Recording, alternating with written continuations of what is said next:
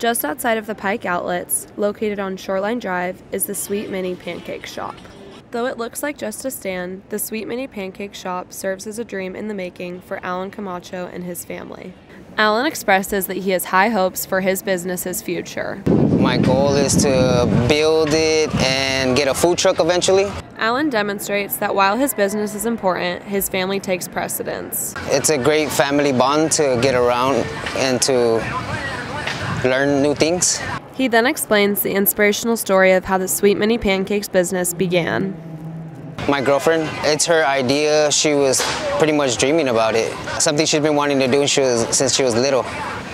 And she loves cooking, so she's a great, great cooker and great, uh, knows how to do a lot of pastries and desserts. Lastly, Alan shares what his motivation is. I support my girlfriend and her daughter. Yeah, most definitely. The owner's daughter wanted to chime in on her favorite pancake. Um, my favorite cookie is mini pancakes with, with Oreos.